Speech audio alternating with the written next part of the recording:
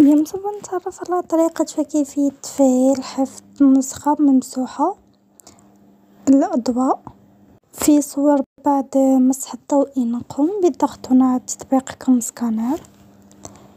بعدها سوف نقوم بانتظار قليلا.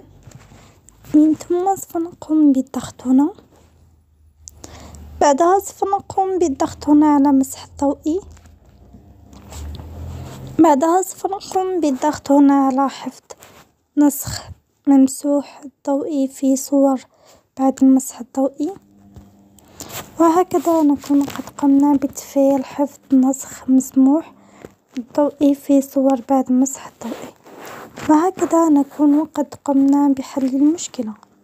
ولا تنسوا الضغط على زر لايك والاشتراك في القناة ونراكم في فيديوهات القادمة إن شاء الله.